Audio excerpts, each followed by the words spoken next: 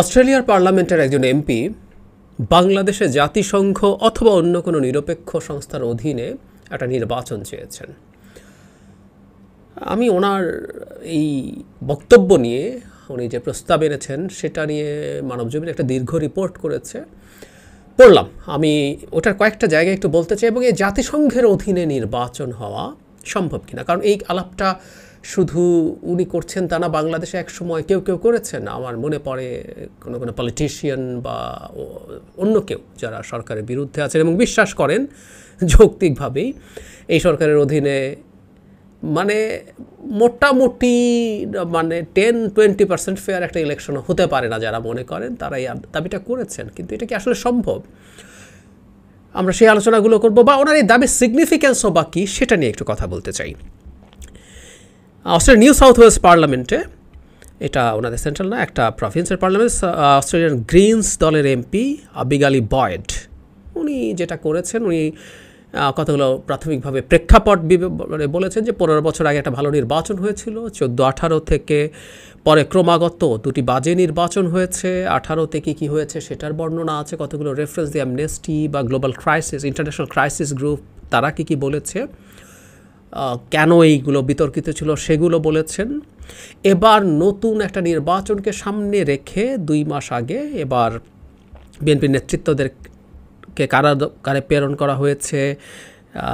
তিন সপ্তাহে দশ হাজারের বেশি নেতা কর্মীকে জেলে পাঠানো হয়েছে। এগুলো এগুলো তার মানে মোদ্দা কথা লেভেল প্লেয়িং ফিল্ডটাকে যে খুব ভয়ঙ্করভাবে ক্ষতিগ্রস্ত করা হয়েছে। ইনফ্যাক্ট এটা আমি বহুবার বলেছি। মানে নির্বাচনের দিন কাগজে কলমে ধরে নিলাম, কোনো ভায়োলেন্স নেই, কোনো সমস্যা নেই, মানুষ স্বচ্ছন্দে ভোট কেন্দ্রে যেতে পারল, যারা যারা যেতে চায়, সেটা মানেই নির্বাচন শান্তিপূর্ণ হয়েছে। তা নির্বাচন যে শান্তিপূর্ণ হয় নাই, এটা বিএনপির সোফার যা হচ্ছে, এটা অলরেডি এটা হয়ে গেছে। সুতরাং নির্বাচনের পলিং ডে পর্যন্ত যাওয়ার কোনো দরকার নেই। বহুবার বলেছি ইন্টারন্যাশনালি এটাই হলো মূল বিষয়। এরপর উনি অনেকগুলো জিনিস চেয়েছেন, জাতিসংঘ সম্পর্কে কী বলছে সেটা পরে আসছে। সরকারের উপরে চাপ প্রয়োগ করার জন্য কর্মীদের দমন, স্বচ্ছতার অভাব এগুলোর জন্য আন্তর্জাতিক সম্প্রদায়কে চাপ দিতে বলছেন। বাংলাদেশের মানবাধিকার ও গণতান্ত্রিক অধিকার সমুন্নত রাখতে চলমান ব্যর্থতার জন্য Sheikh Hasina rapid action battalion সদস্য, গোয়েন্দা সংস্থার সদস্যদের টার্গেটেড স্যাংশন আরোপ করতে বলছেন, যেটা বলছে শক্তিশালী বার্তা হিসাবে কাজ করবে। বিরোধী দলীয় নেত্রী খালেদা জিয়া সহ সকল রাজনৈতিক বন্দীদের অবিলম্বে মুক্তির জন্য সাহায্য করতে হবে।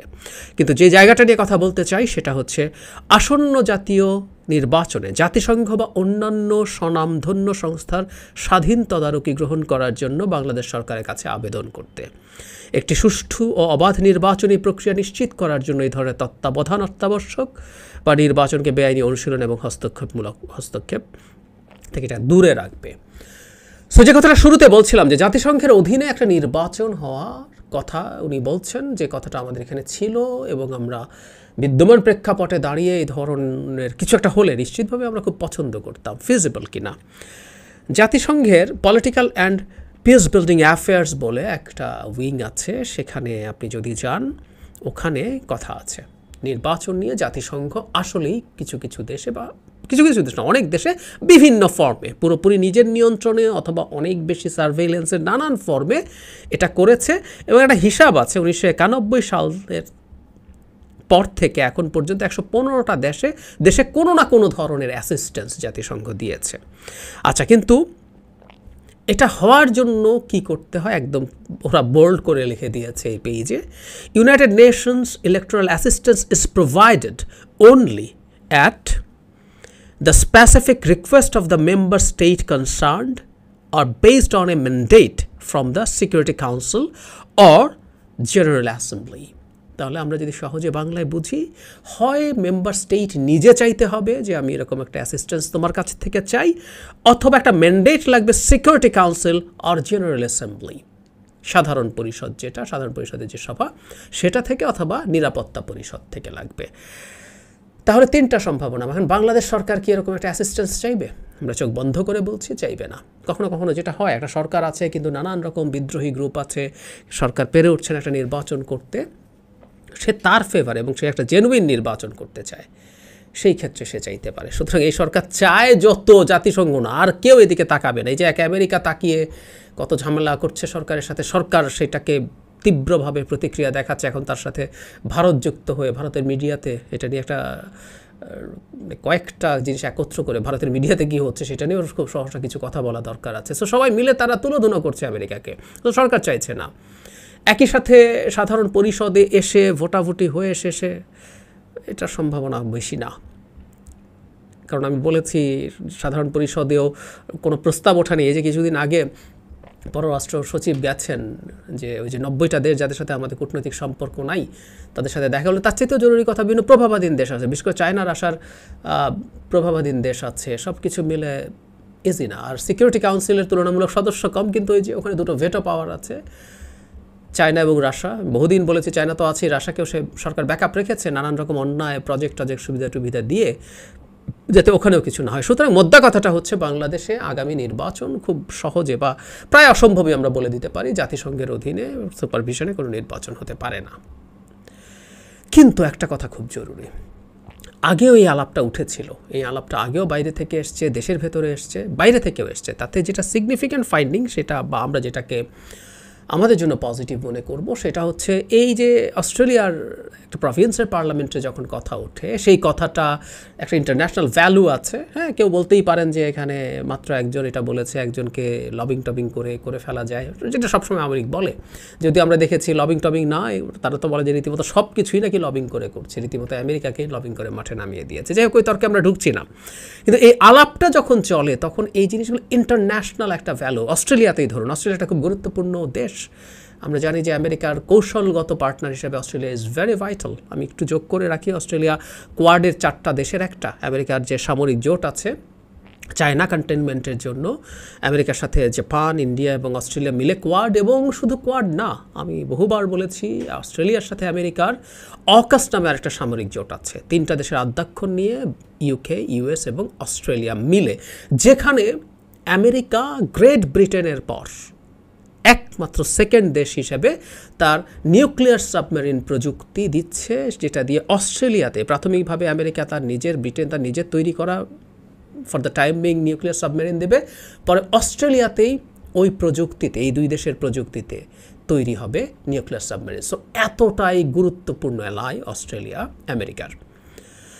সুতরাং সেই অস্ট্রেলিয়াতে যখন এই কথাটা ওঠে এবং সেখানে যখন এই আলাপটা হয় যে বাংলাদেশের প্রেক্ষাপটে খুব চমৎকার করে, খুব ডিটেইলড উনি এই কথাগুলো বলেছেন, একদম ট্রুলি বাংলাদেশে যা পরিস্থিতি বিরাজ করছে সেটা বলছেন এবং বাংলাদেশে এমন একটা পরিস্থিতি বিরাজ করে যেখানে জাতিসংঘ ছাড়া একটা ফেয়ার ইলেকশন হবে বলে মনে করেন না। এই যে কন্ডিশনটা এই কন্ডিশনটা অস্ট্রেলিয়াতে উঠল এবং গ্লোবাল বা ইন্টারন্যাশনাল জায়গায় উঠল, এটার একটা খুব গুরুত্বপূর্ণ সিম্বলিক ভ্যালু আছে। মানে আমাদের দেশের আমাদের দেশের গণতন্ত্রের স্বার্থে, জনগণের স্বার্থে যে যেখানে কথা বলছেন, কোনো একটার ইম্প্যাক্ট হয়তো অনেক বড়। আমেরিকা যখন বলে, আমেরিকার সেনেটাররা যখন চিঠি লেখেন কংগ্রেসম্যানরা যখন চিঠি লেখেন, সেটার এক গুরুত্ব যত বড়, এটা হয়তো অতটা না।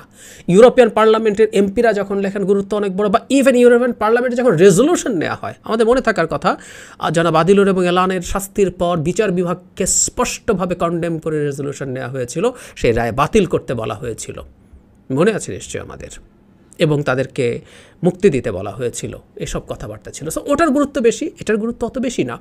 কিন্তু বারবার বলছি খুব মানে খুব খুব অ্যাপারেন্টলি তুলনামূলকভাবে কম মনে হয়। কিন্তু এই কথাগুলো বিভিন্ন জায়গা থেকে, বিশ্বের বিভিন্ন ক্ষেত্র থেকে জারি থাকা দরকার আছে। পুরনো একটা কথা, যোগ করে দিতে চাই। এসব বললেই দু একজন কমেন্ট করেই বসেন। আপনারা বসে আছেন বিদেশিরা করে না না, আমি এই কথা বহুবার বলেছি। আমাদের লড়াইটা এখন শুধুমাত্র আমরা দেশের মধ্যে করে ফেলতে আসলে পারব না। বাংলাদেশকে একটা প্রক্সি যুদ্ধের ক্ষেত্রে সরকার পরিণত করে ফেলেছে। সরকার কিছু শক্তিকে মাঠে নামিয়ে দিয়েছে। চায়নার আশাকে প্রকাশ্যে দেখেছে এবং আমি দীর্ঘদিন বলেছি, ভারত এই সরকারের পক্ষেই মাঠে আছে এবং সম্প্রতি কিছুদিন আগেই বিনায়ক ওয়াত্রা ভারতের পররাষ্ট্রমন্ত্রী, প্রকাশ্যে এসে তার পজিশন জানিয়ে দিয়েছেন, বুঝিয়ে দিয়েছেন। সুতরাং it's very obvious nowadays এখন এই দেশগুলোর সাথে পাল্টা বাংলাদেশের জনগণ দাঁড়িয়ে তার দাবি আদায় করার জন্য, সেটা দাবি জনগণ আদায় করবে, এই লড়াই সংগ্রাম জনগণই করবে, কিন্তু সেটাকে কিছুটা সাহায্য করা, কিছুটা সহজ করা কিছু ক্যাটালাইজ করা, প্রভাবিত করা, একটু প্রভাব একটু ফাস্টার হবে, একটু স্ট্রঙ্গার হবে, এই কাজটা বাইরে থেকে হতে হবে। আমি এটাকে ইনএভিটেবল মনে করি। সেই বিবেচনায় ডে ওয়ান থেকে যখন আমি আমার এই চ্যানেলে কথা বলি বা আগে আমাকে যারা বিভিন্ন টিভি চ্যানেলে কথা বলতে শুনেছেন কোনোদিন আমি রাগঢাক করিনি। সেই র্যাবের স্যাংশন থেকে শুরু করে ক্রমাগত আমি আসলে বলে গেছি, আমরা ওয়েলকাম করি, আমরা যতদিন পর্যন্ত এই দেশগুলো আমাদের জনগণের স্বার্থে আছে, সরকারের স্বৈরাচারের বিরুদ্ধে আছে, ততদিন পর্যন্ত আমরা আসলে হোল হার্টেডলি তাদেরকে ওয়েলকাম করব এবং এরকম ছোট, বড়, যেখান থেকে যা যা আসুক, প্রত্যেকটা জিনিস নিয়ে আমরা কথা বলব, আমাদের মানুষের সামনে আনব। দেখাতে চাইব যে আমাদের এই লড়াইয়ের পাশেও অনেকেই আছে।